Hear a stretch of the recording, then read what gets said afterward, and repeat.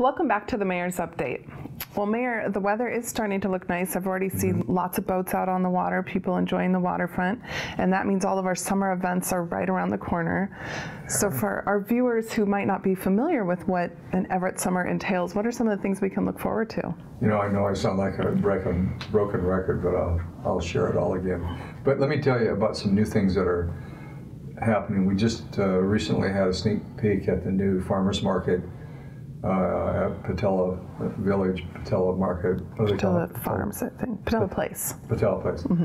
And that's a project on Grand Avenue between Hewitt and Wall Street. A couple hundred uh, apartments above, great views of the sound. Uh, had a chance to go down there and look at an event that uh, uh, helped Housing Hope with uh, some fundraising.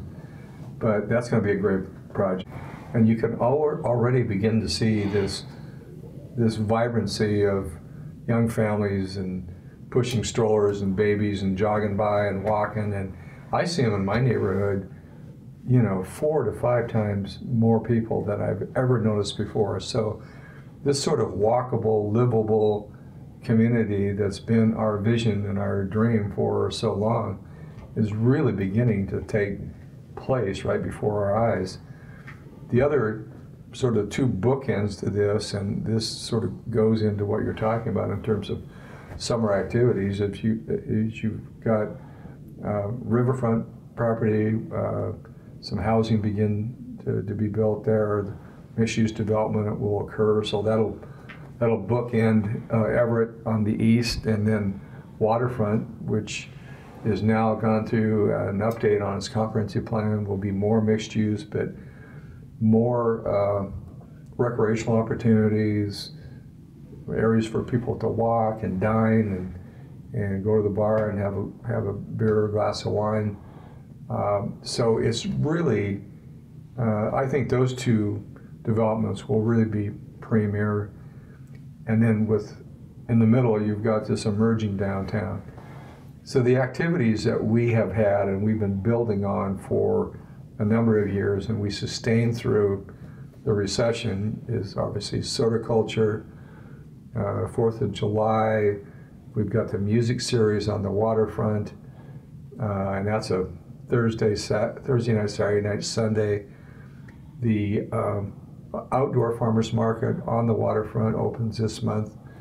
So there's just a whole lot of activity. Cin- cinema under the stars at Silver Lake, and I, I would encourage viewers to go and look on our website uh, to find those activities, but free activities. We don't charge anything for parking. Um, the port does charge a modest fee per parking to go to Jetty Island, so that's an, an attraction that I think sees some 40 to 50,000 visitors every summer. So we're in in prime time, and uh, to, to see all this really uh, exciting development occur with it, I think uh, it really just feels like it's all coming together. And then the, the music series uh, at what do they call it? Fisherman? Fisherman's uh, Village Music Festival. Right. Yeah. So Everett's really becoming an emerging music scene that's attracting young people from Seattle and all around the region. And that's really the kind of activity we need to get young professionals here, living here. But, you know, with this population we're seeing growing downtown and that we'll start filling up these new residential units, those uh, additional restaurants and night spots and music events are just going to, to blossom.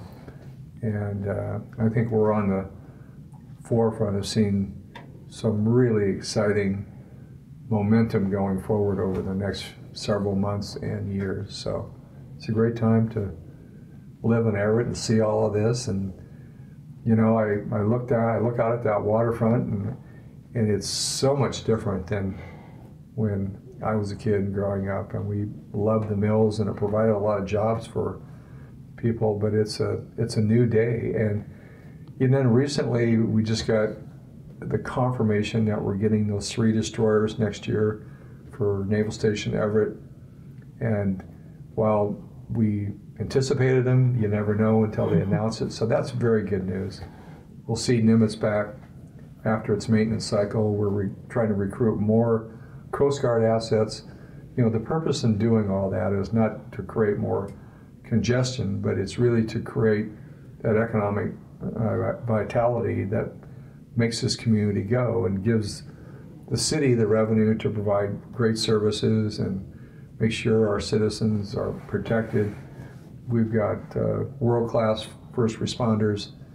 I'm very proud of the work that our men and women do in law enforcement and the fire service and paramedic. I mean, our paramedic service, they, they always hold Seattle up as sort of the gold standard, but Everett is really the gold standard when it comes to quality healthcare and survivability of a major event. So uh, that's the foundation we build on, and to see all this exciting uh, transformation occurring in our community, uh, sometimes it feels like it takes forever to get this stuff going and started. And there's there are a lot of fits fits and starts. They're just the nature of business. It's certainly the nature of public business, but you just have to stay persistent. You got to stay on this stuff. Every obstacle, you got to find a way under or over or around, and I think we've done, done a real good job doing that. Okay, there's a lot to look forward to. And Oh, as yeah. you said, we've got um, all the city events on our website, and we also have a community events calendar so community organizations can put up their events as well. So there's a lot of great info there. Yeah, absolutely. Well, thank you, Mayor, for talking Yeah. with us today. And thank you for joining us. We hope you'll be back in June for the next edition of Mayor's Update.